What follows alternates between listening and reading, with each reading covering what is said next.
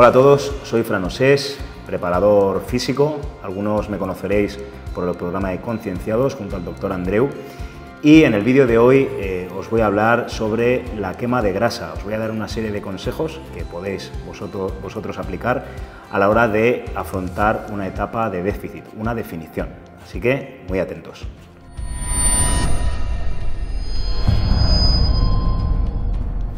En el apartado de entrenamiento, lo más importante sería generar un déficit incrementando el gasto calórico mediante el entrenamiento. Esta es la mejor manera de no perder masa muscular a largo plazo, ya que un déficit muy agresivo puede hacer que mm, os quedéis sin energía rápidamente y a la larga pues catabolicéis, ¿vale? Otro punto importante sería escoger inteligentemente los ejercicios. No pueden faltar los ejercicios básicos, pero tened en cuenta que abusar de estos ejercicios compuestos hará que las recuperaciones sean bastante peores. Debemos tratar de mantener la intensidad durante todo el proceso.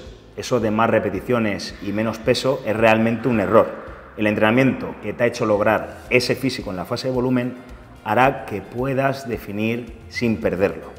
Tratar de mantener la intensidad durante todo el proceso es muy importante, pues eso de más repeticiones y menos peso es realmente un error. El entrenamiento que te ha hecho lograr ese físico hará que puedas definir sin perderlo. Así que acostumbraos a seguir trabajando intenso. Otro punto importante sería ajustar el volumen de entrenamiento, pues plantear una dieta con más calorías para mantener un alto volumen es interesante, pero a la larga tendrás que ajustarlo un poco, eso es irremediable, ¿vale? Ya que el cuerpo de manera natural tiene un límite. No debemos de arriesgar a cambiar por completo la manera de entrenar, ya que aumentar de repente la frecuencia, por ejemplo, si no estáis acostumbrados, o añadir eh, demasiadas técnicas de alta intensidad, puede realmente hacer que eh, no recuperéis lo suficiente y que al final tengáis que bajar volumen o volver al entrenamiento que estabais haciendo. El entrenamiento debe de ser simple pero eficaz en esta etapa.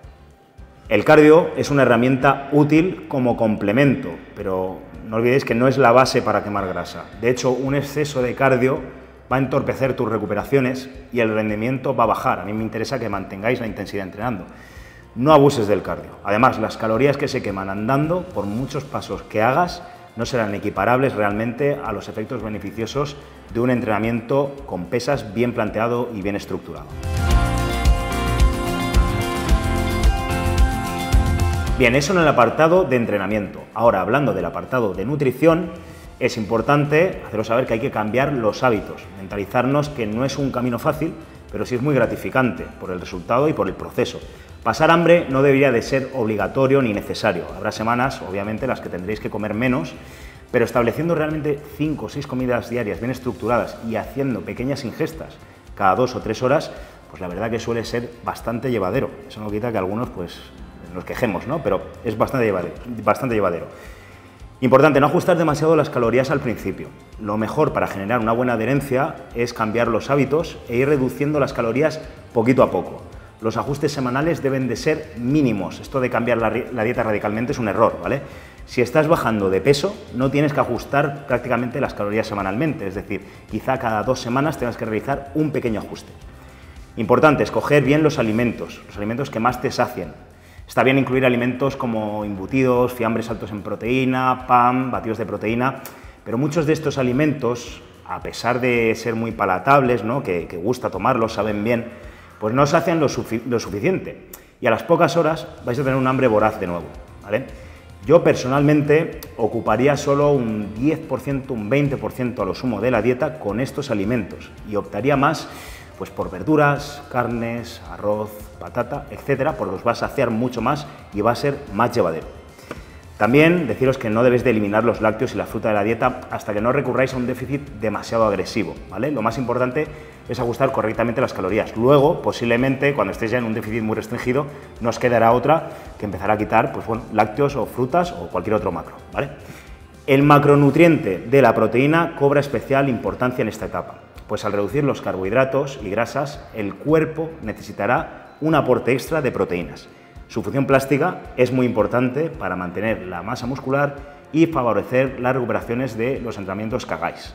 Pero ojo, no caigáis eh, en el error tampoco de abusar de este macro, pues mm, ya sabéis que un exceso de proteína se va a convertir en glucosa y ese exceso puede transformarse en grasa, ¿vale? Recordad que un gramo de proteína son 4 calorías. Bien, no reduzcáis en exceso la ingesta de carbohidratos, es un error común. La glucosa es la fuente principal de energía que obtenemos de los alimentos. Debéis de aprovecharla bien y elaborar la dieta acorde al entrenamiento que estéis haciendo y no al revés, ¿vale? Yo ajusto la nutrición siempre acorde al entrenamiento que estemos haciendo, que es la base fundamental. Las grasas son esenciales para la vida. Aseguraos también de ingerir suficientes ácidos grasos sobre todo los esenciales provenientes de alimentos como, por ejemplo, las nueces, el aguacate, el aceite de oliva, el pescado azul, también incluye mucho omega 3, y no abuséis del omega 6, ¿vale? Un buen aporte de grasas hará que vuestro sistema hormonal no se derrumbe en esta etapa tan restrictiva, y esto lo notará sobre todo las chicas, ¿vale? Que no me olvido de vosotras, que tendéis a recurrir a déficits demasiado extremos, muy agresivos, y acabáis muchas teniendo, por desgracia, problemas hormonales bastante serios. Otro punto a tratar es eh, eliminar por completo los carbohidratos. Eh, realmente yo lo haría de las comidas más alejadas del entrenamiento, ¿vale? ya que notaréis una mejor respuesta metabólica, aunque el total calórico sea lo importante. ¿vale? Si mantenéis las ingestas alrededor del entrenamiento, notaréis que el rendimiento no decaerá tanto. Aseguraros también, muy importante, de hidrataros lo suficiente, aportar suficiente agua para facilitar el tránsito intestinal, ya que en estas etapas ya sabéis que es fácil sufrir de estreñimiento, entonces ayuda mucho al tránsito intestinal. También la ingesta de fibra mediante alimentos ricos en esta, sobre todo frutas, verduras, os ayudará mucho en este aspecto. Además, os servirá para saciaros, que es muy importante para evitar episodios de ansiedad durante, durante el periodo de definición. Deciros también, importante, no, recomiendo en absoluto abusar de los edulcorantes o productos catalogados como cero, que están llenos de, edulcorantes. Aunque están permitidos, no van a aportar muchas calorías en, lo que es vuestra dieta, pero si, si, abuséis de ellos, realmente vuestra mente, lo vais a comprobar, os va a pedir cada vez más por la propia sensación de, de dulce que producen. Incluso se dice que incluso el páncreas puede producir insulina. Además, deciros que son bastante perjudiciales en grandes cantidades para la salud digestiva, puesto que eh, aumentan mucho la inflamación intestinal.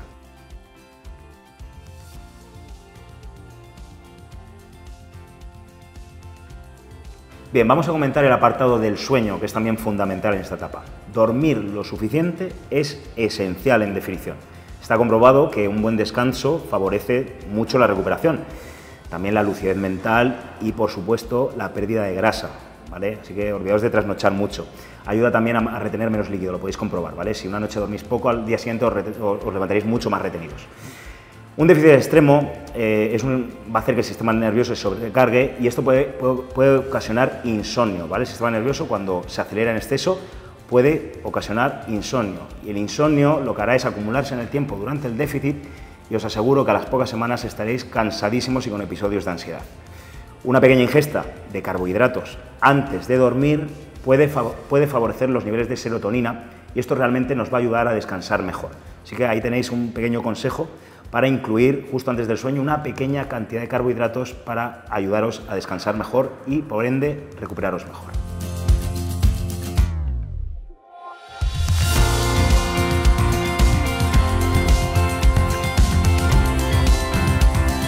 Bien, en cuanto a la suplementación, para la pérdida de grasa eh, hay una serie de suplementos que os los voy a citar por apartados que pueden ser bastante, bastante interesantes, ¿vale? Siempre recordar que la base es la nutrición y el entrenamiento. Esto simplemente complementa el programa. Vale, bien, para acelerar el metabolismo yo personalmente elegiría cafeína junto a sinefrina y extracto de té verde. No voy a hablar de cantidades, pero estos tres funcionan muy bien sinérgicamente. Para favorecer la vía AMPK, que es la de la pérdida de grasa, elegiría principalmente berberina y NA-R-ALA. Para favorecer el sueño y reducir los niveles de estrés y poder tener un mejor descanso, sería melatonina, ashwagandha y magnesio. ¿vale? Para favorecer la recuperación y evitar el catabolismo y favorecer el rendimiento, elegiría aminoácidos esenciales, no serían necesarios los BCAAs, creatina y beta-alanina. Y para complementar la nutrición y mantener unos niveles hormonales estables, elegiría el omega 3 y la vitamina D3. No, no añadiría K2, ¿vale?